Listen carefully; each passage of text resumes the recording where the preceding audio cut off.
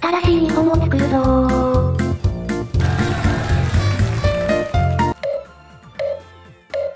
またレイムがおかしいことを言っているんだぜ。おかしいこととか言わないで。でもこのゲーム、本当に日本が作れます。またレイムがおかしい。えー、っと説明しますね。今青森県を持っています。それを置くだけ、以上。わかりやすい説明ありがとうなんだぜ。こんな感じで、次々に日本を作っていきます。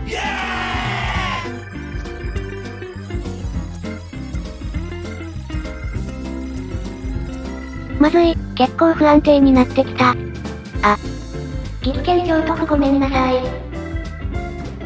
いいえそんなことないです岐阜県必要です。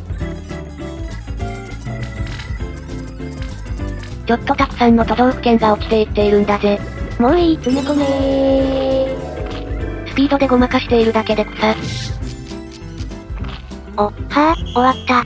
さあどんな日本が出来上がったのか。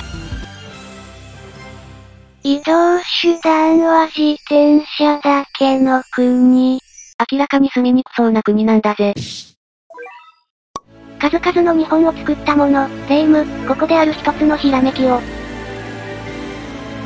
全部の都道府県、捨てよう。そんな壮大な感じにしといてそれだけ？はい。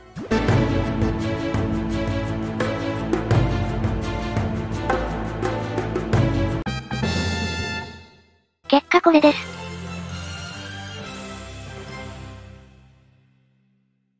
もはや海。